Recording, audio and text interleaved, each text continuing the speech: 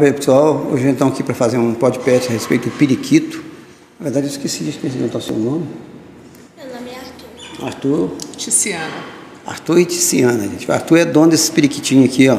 Ele cuida, ajuda a mãe dele, limpa as gaiolas toda semana, trata deles, é um tratador maravilhoso. É, cuida dos periquitinhos dele, é jogador de futebol, vai ser, vai ser é, jogar no time de, do Galo ou do Cruzeiro? Do Galo. Você vai ser jogar na defesa do Galo. Né?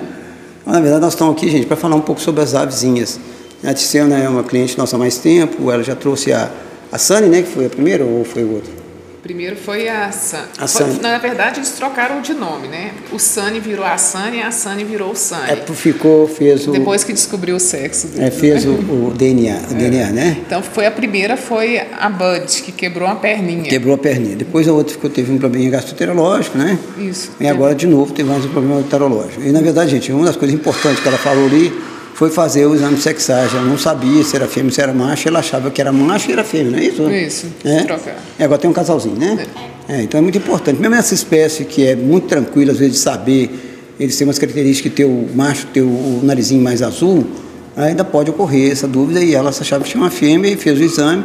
Então é interessante fazer esse exame, porque o bichinho pode morrer por falta do exame de sexagem. Né? Os papagaios, as, marita- as maritacas, as calopsitas, nem sempre dá para saber só no toque. Então é importante fazer sexagem. Mas eu vou perguntar para você assim, como é que me fala é, como que é a sua relação com os bichinhos em casa? Todo dia você mexe com eles, brinca com eles, você acha que eles alegram a casa? É, eu acho que eles alegram a casa. Alegra muito, fala aqui no microfone aqui. É, é, eles alegram muito a casa porque eles são nossos bichos de estimação e deixa todo mundo feliz. É, deixa todo mundo feliz na casa. É seu- o seu e seu irmão, quem que é o dono deles? O seu ou o seu irmão? É, o meu é a fêmea, o do meu irmão é o macho. Ah, é? Você tem assim, um, é um, é um é do um, é do outro? Sim. Agora, Tiziana, me fala aí um pouquinho. É, esses bichinhos dão trabalho, você tem eles em casa, alegrou a casa. Eu parece que eu vejo que você falou que comprou esses bichos pro seu filho, mas parece que você gosta mais dele do que os meninos. É, viraram meus netos, na é, verdade. neto, né? É, meus netinhos. Não dão trabalho. A gente até a opção de escolher foi exatamente isso. né? Uhum. Ele surgiu como vários é, bichos de estimação, estimação. surgiram na pandemia, né? Aham. Para agradar as crianças, As crianças. cria- é, tinha que ficar presos em casa. Então a gente estava com dúvida do que que queria. Meu filho desejaria sempre um cachorro, mas aí ia dar muito trabalho em casa, né? Resolveu ter Pequeno, um resolvemos de- ter o periquito. Não dá trabalho, cuido dele uma vez por dia, assim que eu acordo, né? Eles ajudam, mas é a avó que, sei, né? Aquela bela história, né? A avó sobra tudo para a avó. Eu higienizo a gaiola deles, troco a alimentação, troco a água todo dia, né? Não dou trabalho. Não trabalha. Não, de vez em quando a gente tira eles da gaiola, eles ficam na mão, Solto, um pouquinho. solto, fica. Com a janela corta, fechada. Sim, com a janela fechada, mas corta a asa também um Ah, pouquinho. tá. Ele Até voa, mas não assim, não dá um voo É, dessa grande. vez eu nem cortei as asas deles não para eles não ficarem, porque eu não tinha falado com você, não sabia se Uhum. eles ficaram, então na verdade eu normalmente eu corto a asa quando vem cá. Se você precisar, eu vou cortar a asa deles agora, já para você, se você quiser, poder ver se Pode. faz cortar. Agora me fala, você falou que eu tinha um montão de perguntas, e quais são as perguntas que você tinha para fazer? É, As perguntas que surgiram foi exatamente por conta da primeira vez que ela teve cria, Uhum. né? E ela já tinha colocado ovos várias vezes, né? Só que nunca chocava, ela mesma bicava os ovos, destruía e jogava fora da casinha. Uhum. Pela primeira vez, ela aceitou o ovinho e a gente via que realmente ela estava chocando o ovo. Aparentemente não tinha nada de mal, né? doença, nada, os dois estavam ótimos. Só que depois que nasceu, foi na quarta-feira agora, na 7 de setembro, a gente observeu, observeu que estava tendo né, um pio na gaiola e Uhum. ok. viu, abrimos e vimos que tinha nascido dois periquitinhos. Uhum. E ela tinha completamente mudado a, a forma dela. Padrão Ela- de comportamento. o padrão de comportamento. Ela estava de manhã, meu, meu filho, o outro filho até brincou que ela estava gordinha. Ela estava, na verdade, com, os, né, com as penas todas arrepiadas e mole. Ela ficava dentro da casinha, você via que queria só ficar dormindo, dormindo e toda enrugadinha. Aham. E no outro dia, e nesse mesmo dia, o, o passarinho morreu, os filhotinhos. Filhotinhos os morreram. filhotinhos morreram, tirou os filhotinhos, ainda tinha ficado com o ovo dentro da gaiola.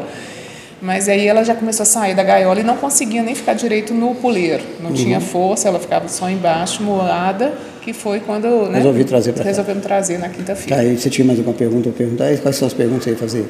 Eu queria saber com relação qual é o procedimento na próxima, é, depois né, que ela ficar bem de saúde, se ela chocar de novo, o que, que deveria que fazer? É só você me ligar. Tá, eu tá. vou para a segunda pergunta. Mas eu vou te explicar outras coisas Sim. agora, logo após aqui, tá? Tá. E a dúvida. Ah, na verdade é o seguinte: a gente Sim. precisa de trocar o puleiro, né, os puleiros, o puleiro não, o, a casinha. A casinha, ou lavar ela muito bem lavada com produto da base de quaternária, limpar essa gaiola muito bem limpa, tratar dos dois e na próxima, no processo, se notar que eles começaram a botar, eu vou você me procura, nós vamos introduzir alguns completos vitamínicos e talvez até algum medicamento para prevenir essa doença que está instalada nelas, Sim. que às vezes não some de um tratamento só. Tá. Ah, eu vou te orientar isso. E com relação também a essa doença, né, que eles, que eles estão, qual que é o remédio? Eu vou passar os medicamentos, depois vai, vai na receita certinho para você. Tudo bem. Então, com relação aos filhotes, no, no, primeira vez que eu vi, né, que, tava, que tinha nascido os filhotinhos, eu fiquei com dúvida na questão, poderia alimentar ou não? Porque poderia, eu vi que ela estava é, afastada é, deles. Poderia ter alimentado eles, mas assim, eu na comprei. verdade, é, quase com certeza eles morreram com a mesma doença. Com a mesma doença, é. é. Eu saí para Agora você me falou qualquer outra pergunta. Vamos lá, se você conseguir responder todas. Não, é só, é só isso mesmo. Só isso. E o ovinho? Ficou um ovo sem, sem... Ficou um ovo, mas quando eu cheguei em casa, meu marido já tinha quebrado. Jogado. É. é. Na verdade, eu, eu até pedi para você guardar Sim. o ovinho, porque na verdade esse ovo que ficou lá e que ele apodreceu, na verdade o ovo é um, uhum. um excelente meio de cultura. Talvez tenha sido o problema todo que ele ficou lá sem você saber que ele estava sendo, né, que ele estava, que ele ia criar e ele apodreceu, porque 21 uhum. dias um ovo, é. né, apodrece. E aí ele vira um excelente meio de, de, cultura, de, de, de cultura.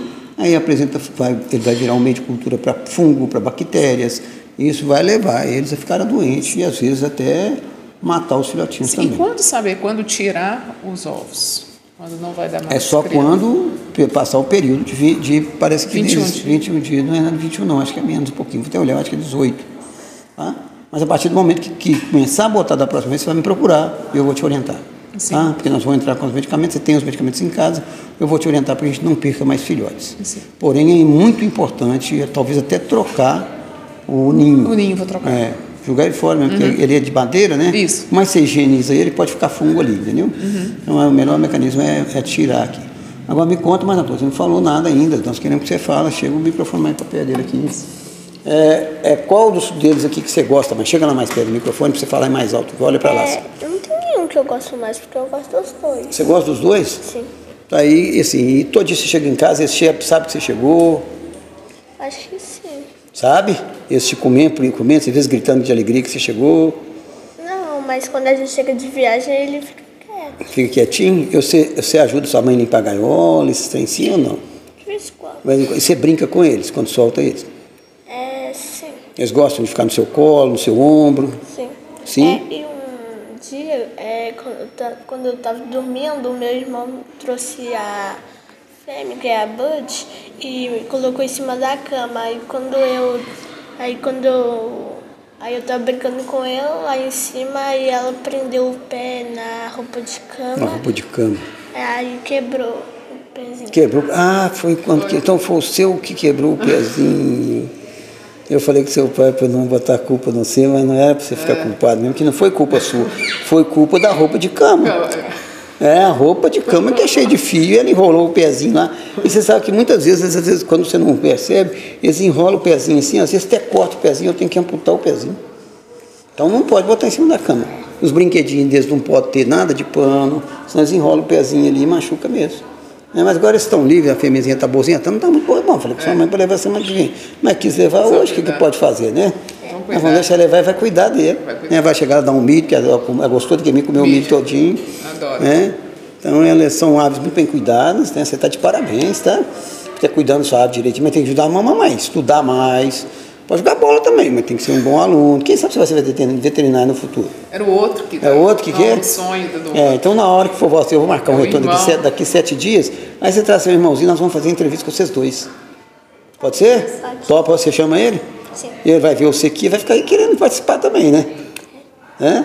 Então tá, e você é atleticano ou cruzeirense? Atleticano, hein? É. Mas você quer jogar no Galo, mas você joga em qualquer time.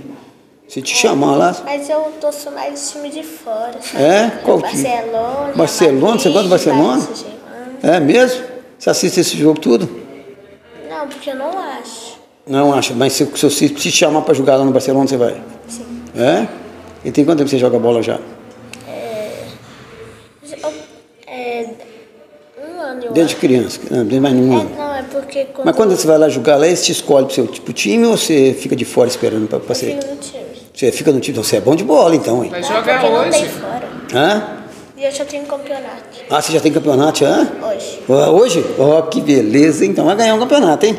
Aí você me conta semana que vem se vai ganhar um campeonato? E no último campeonato eu ganhei. Ganhou também? Então você é bom de bola. Ah, então tá bom. Seu irmão também joga no time, não? Não. Não, Joga ele- tênis. Joga tênis, né? É você que já leva jeito pra jogar futebol.